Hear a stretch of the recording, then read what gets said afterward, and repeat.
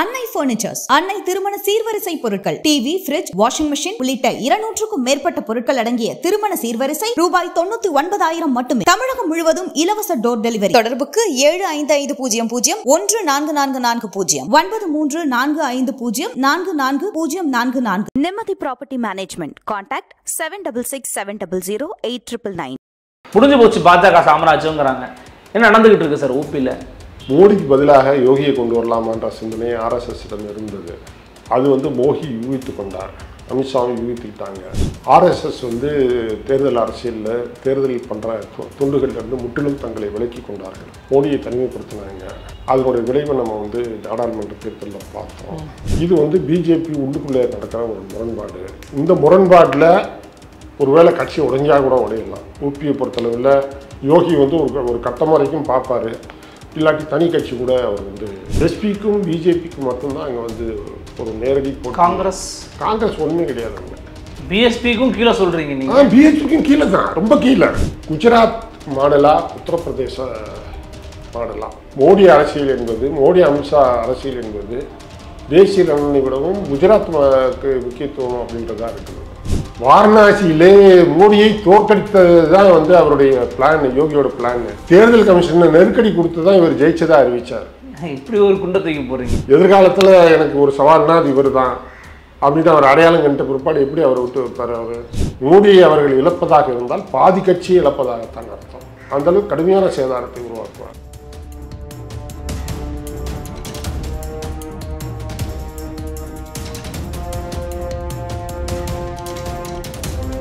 Fourth state Tamil நேயர்களுக்கு அருள்மொழிவர்மனின் அன்பார்ந்த வணக்கங்கள். இது உங்கள் ஃபோர்த் ஸ்டேட் தமிழ் வழங்கும் பெருதலும் பெருதுகள் நிகழ்ச்சி. இன்று நம்ம இணைந்திருக்கிறார் அறம் ஆசிரியர் மூத்த பத்திரிகையாளர் மரியாதைக்குரிய திரு சாவித்திரன் அவர்கள். வணக்கம்.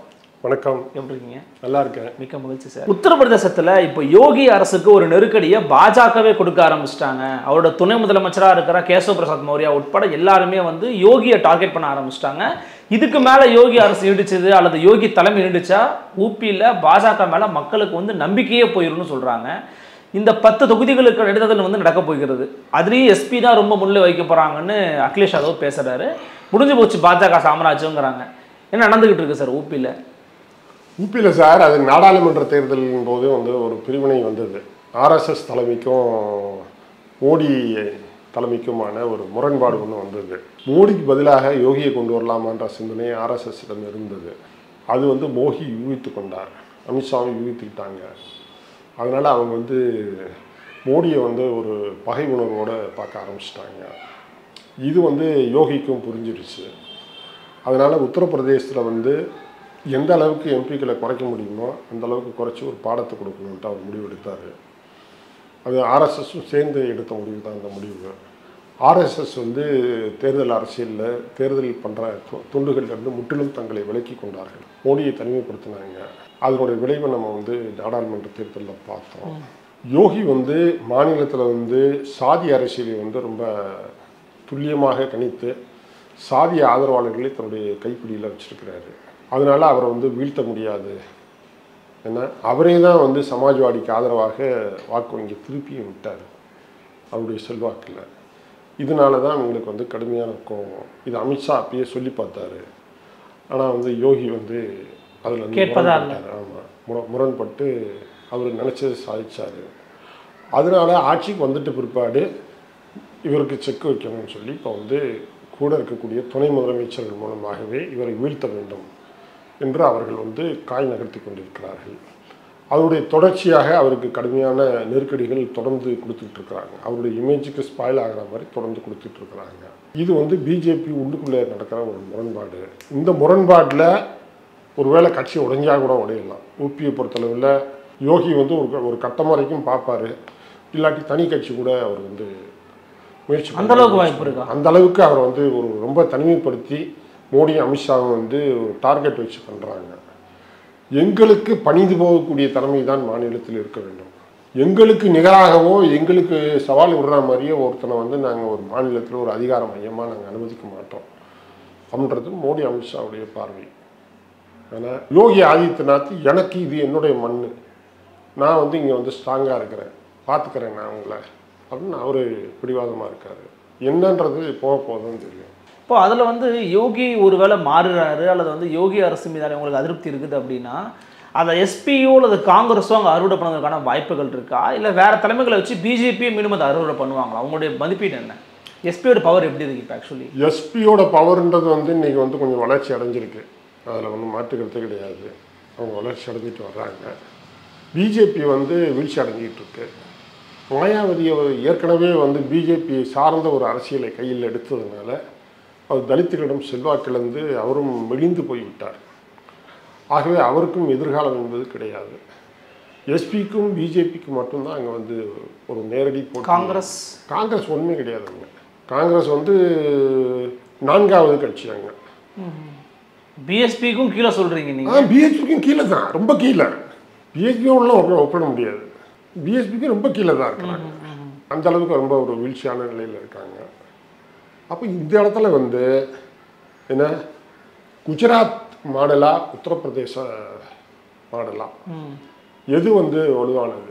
மோடி அரசியல் என்பது மோடி அமித்ஷா அரசியல் என்பது தேசிய நலனை விடவும் குஜராத்துக்கு முக்கியத்துவம் அப்படின்றதா இருக்குது.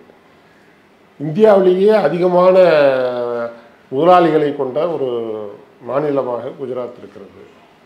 அதிகமான கார்ப்பரேட்டுகளை கொண்ட ஒரு மாநிலமாக குஜராத் இருக்கிறது.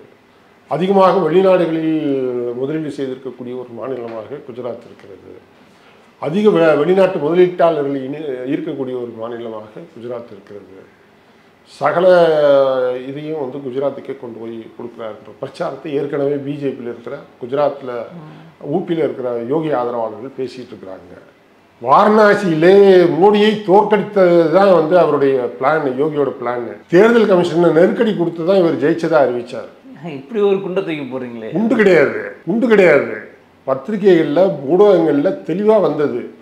ஃபஸ்ட்டு ஃபஸ்ட்டு ஒரு ஏழு எட்டு ரவுண்டு வந்த உடனே மோதி க க கதிகலங்கி போயிட்டார். யார் அவன் எங்கே என்ன எல்லாம் அரசு நிர்வாகத்தை முடுக்கி விட்டு தேர்தல் கமிஷனுக்கு நெருக்கடி கொடுத்து என்ன? ஓட்டு எண்ணிக்கையில் வந்து நீங்கள் வந்து ஒரு செயற்கையான ஒரு மாற்றத்தை நீங்கள் கொண்டு வரணும்னு சொல்லி நெருக்குதல் கொடுத்து தான் வந்து அவர் ஜெயிக்க ஜெயிச்சதாக அறிவிச்சு அறிவிச்சாங்க. இவ்வளவு கடுமையான ஒர்க் பண்ணியிருக்கிறாங்க. உத்தரப்பிரதேசத்தில் வாரணாசி தொகுதியில் மோடியை தோற்கடிக்கிறதுக்கான பிரச்சாரத்தை வீடு வீடாக போய் செஞ்சாங்க. யாரெல்லாம் மோடி மேலே வந்து வாக்களித்தார்களோ அவர்கள் எல்லாருமே வந்து பேசுனாங்க. என்ன? வந்து குஜராத்தினுடைய அமுல் இதுதான் இங்கே விற்றுக்கிட்டு இருக்கு. குஜராத்துடைய ப்ராடக்ட் தான் வந்து உத்தரப்பிரதேசம் முழுக்க வந்து விற்பனை பண்ணிட்டு இருக்கிறாரு குஜராத் முதலாளிகள் தான் உத்தரப்பிரதேசத்தை சுரண்டிக்கிட்டு இருக்கிறாங்க எவ்வளோ விமர்சனங்களை வச்சாங்க. சாதாரண மக்கள்கிட்ட அந்த பேச்சு எழுந்தது. சாதாரண மக்கள் ஊடகங்களை பார்த்து பேசினாங்க.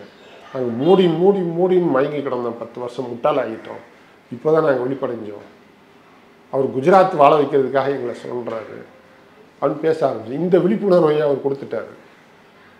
அதனால் வந்து இன்றைக்கி வந்து முரண்பாடு ரொம்ப கடுமையாக போயிட்டுருக்கு மோடிக்கும் யோகிக்குமான முரண்பாடு வந்து ரொம்ப கடுமையாக போயிட்டு இருக்கு இதில் வந்து யார் ஜெயிக்கிறாங்கன்றது வந்து இப்போ சொல்ல முடியாது.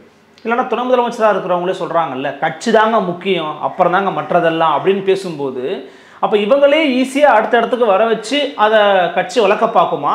இல்லை யோகிங்கிற நபர் நாள் ஒரு முகமாக இருந்துட்டாரு அவரை நிராகரிக்க முயற்சி பண்ணுமான்னு கேட்குறேன் அவரை நிராகரிக்கத்தான் முயற்சி பண்ணுறாங்க அவரை நிராகரித்து கட்சியை உத்தரப்பிரதேச கட்சியை தங்களுடைய கண்ட்ரோலில் தங்களுடைய அடிமைகளை வைத்து தங்களுடைய கண்ட்ரோலில் நடத்த முடியுமான்ட்டு மோடி அமித்ஷா முயற்சி பண்ணுறாங்க அட்லீஸ்ட் இந்த பத்து தொகுதிகளுக்கு எழுதுதல் இருக்கும்போது பொறுமையாக இருப்பாங்களா? இல்லை அதுக்கு முன்னாடி நடக்க வாய்ப்பு இருக்கா?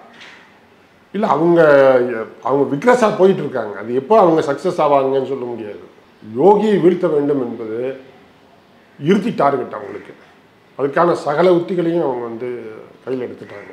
அது உங்களுக்கு லாஸாக முடியாதா அது? இவ்வளோ நாளாக ஒரு ஃபேஸாக இருந்தவரை நிராகரிக்கிறதுங்கிறது பாஜகவுக்கு லாஸாக கேட்குறேன். மோடியை வீழ்த்துறதுக்கு அவர் இவ்வளோ இறங்கி களத்தில் இறங்கி வேலை பார்த்துருக்கிறாரு. பிஜேபிக்கு ஒரு பெரிய தோல்வியை கொடுத்துருக்கிறாரு.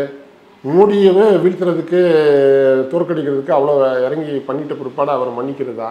எதிர்காலத்தில் எனக்கு ஒரு சவால்னா அது இவர் தான் அப்படின்னு அவர் அடையாளம் கண்ட பிற்பாடு எப்படி அவரை விட்டு வைப்பார் அவர்? அரசியலில் வந்து என்ன? எதிரியாக ஒருத்தன் வந்து உள்கட்சியில் வந்து சிந்திக்கிறான்னாலே அனுமதிக்க மாட்டாங்க. நமக்கு ஈக்குவலாக ஒருத்தன் வர்றேன்னா வர்றான்னாலே வந்து விட மாட்டாங்களே கருவிலே அழிச்சிடுவாங்களே அப்போ அந்த வகையில் யோகி நிராகரிக்கப்படும் போது உறுதின்னு நினைக்கிறீங்க? யோகி வந்து முழுமையாக நிராகரிக்கப்பட்டிருக்கிறார். அமித்ஷா மோடியால் மு- முழுமையாக நிராகரிக்கப்பட்டிருக்கிறார். அதனால் அவர் வந்து அவர் ஒரு ஃபைட்டர் லேசில் விட மாட்டார். கடுமையாக ஃபைட் பண்ணுவார். ஊபியில் வந்து பாஜக கடுமையான சேதாரத்தை சந்திக்கும். மோடியை அவர்கள் இழப்பதாக இருந்தால் பாதி கட்சியை இழப்பதாகத்தான் அர்த்தம். அந்த அளவுக்கு கடுமையான சேதாரத்தை உருவாக்குவார். யோகி வந்து சாதாரண விட்டுற மாட்டார் அப்போ அதை வந்து எஸ்பி தான் வந்து பெரும்பாலும் அறுவடை பண்ணுவாங்களா? அந்த ஃபைட்டை அந்த ஸ்பேஸை எஸ்பி ஃபுல்ஃபில் பண்ணுவாங்களான்னு கேட்குறேன் நிச்சயமாக அந்த பலன் வந்து எஸ்பிக்கு தான் போய் சேரும். பிஜேபியினுடைய வாக்கு வங்கி சரியுமானால் அதை வந்து பயன்படுத்தி கொள்ளக்கூடிய ஆற்றல் உள்ள ஒரே கட்சியாக எஸ்பி தான் சமாஜ்வாதி தான். வேற கட்சி இல்லை. மற்ற கட்சிகளும் சோதா கட்சி சிறிய கட்சிகளாக இருக்கிறது. பிஜேபிக்கு டஃப் ஃபைட் கொடுக்கக்கூடிய ஒரே கட்சியாக அவங்க தான் இருக்கிறாங்க. அயோத்தியிலே ஜெயிச்சிருக்கிறாங்களே. ராமர் கோயில் கட்டணத்தை ஜெயிச்சிருக்கிறாங்க. நிச்சயமா ரொம்ப பலவிதமான கருத்துக்களுக்கு ரொம்ப ஆழமா தெளிவான பதில்களை கொடுத்தீங்க. எங்களுக்காக ஒரு வருகனையும் கருத்து நடத்தமைக்கு மிக்க நன்றி. நன்றி நன்றி மீண்டும் சந்திக்கலாம். நன்றி. வணக்கம்.